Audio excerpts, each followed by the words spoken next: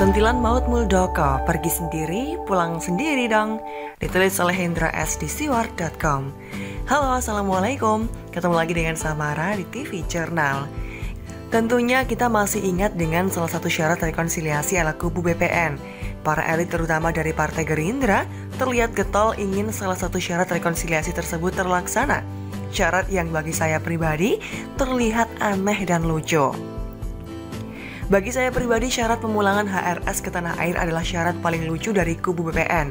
Saya katakan lucu karena tidak ada argiansi yang mengarah kepada harus terlaksananya syarat ini. Apa yang selama ini kubu BPN perjuangkan hanya masalah pemulangan HRS. Jika fokus utama mereka adalah hal ini, tentu kekecewaan akan tercipta dalam pendukung paslon 02. Saya yakin tidak semua pendukung 02 yang ingin junjungannya menang Pilpres 2019 mempunyai tujuan utama pemulangan HRS. Masa iya 44,5% pemilih paslon 02 hanya memperjuangkan kepulangan satu orang tersebut? Jika semua pemilih paslon 02 hanya ingin pulangnya HRS, mengapa tidak mencalonkan HRS saja sebagai capres? Salah satu syarat rekonsiliasi dari BPN sempat membuat beberapa pihak berkomentar miring. Para elit PDIP pun menilai syarat rekonsiliasi tersebut sangatlah aneh serta tak relevan. Mungkin tak relevan di sini berarti pulangnya RS tidak ada hubungannya dengan panasnya perpolitikan di tanah air. Masa iya seorang HRS bisa menjadi sebab polarisasi di masyarakat? Saya rasa figur HRS tak punya kekuatan mumpuni dalam perpolitikan tanah air. Figur HRS hanya digunakan oleh mereka yang berpolitik dengan jubah agama. HRS yang senang mengkafirkan sesama anak bangsa dinilai mewakili Islam yang kuat sehingga bisa menarik simpati para penganut Islam garis keras. Mereka tak sadar bahwa Islam Nusantara adalah Islam yang cinta damai serta mengakui Pancasila.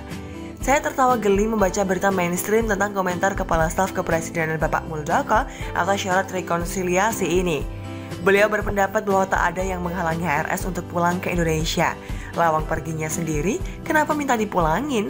Pak Mul bermaksud menyentil bahwa tak mau pulangnya HRS bukan karena dihalangi, tapi memang HRS ngayal tak mau pulang. Menurut analisa saya, tidak mau pulangnya HRS karena berbagai kasus yang sedang menunggunya di tanah air, bukannya beberapa kasus sudah di SP3 oleh Polri. Memang beberapa kasus sudah di SP3, tapi ada satu kasus yang merupakan mimpi buruk HRS. Salah satu kasus yang melibatkan persoalan hati ini begitu rumit untuk diuraikan oleh HRS. Inilah yang membuat dirinya tak berani pulang. Ketika Pak Mul ditanya tentang penghentian kasus HRS, beliau menyerahkan semuanya kepada Polri, dalam hal ini Kapolri. Kita tahu bahwa dalam masa pemerintahan Jokowi, hukum harus dijalankan sesuai dengan koridornya. Tidak boleh ada intervensi dari pihak mana pun. Bahkan Presiden Jokowi sendiri tak ingin mengintervensi kasus hukum siapa pun di negeri ini.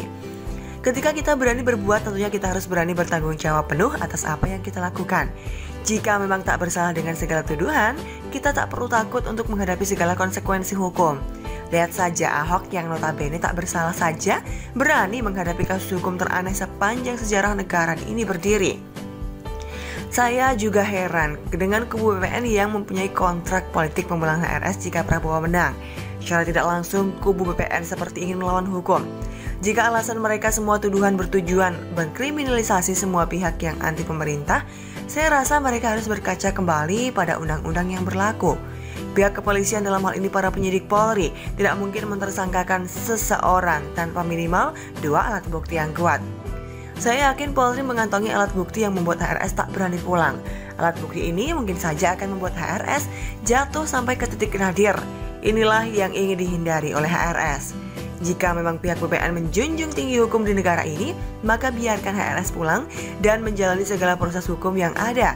Buktikan di pengadilan bahwa apa yang dituduhkan semua merupakan omong kosong belaka. Jika memang HRS tak berani pulang, maka saya sangat yakin bahwa ada sesuatu yang ditakutkannya. Yang kita tinggal tunggu sampai kapan sang sponsor mampu membiayai semua kebutuhan hidup HRS di Saudi Arabia sana.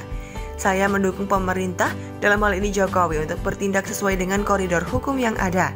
Benar di atas benar dan salah di atas salah seperti prinsip salah satu penulis siwart yang saya hormati Ibu Jemima Mulyandari. Prinsip Bu Jemima inilah yang harus terpatri dalam penegakan hukum di Indonesia demi Indonesia maju, raya, jaya, merdeka. Dan bagaimana menurut Anda Silahkan untuk tulis komentar di kolom komentar. Jangan lupa untuk like, subscribe, dan share. Sama pamit wassalamualaikum warahmatullahi wabarakatuh. Bye-bye.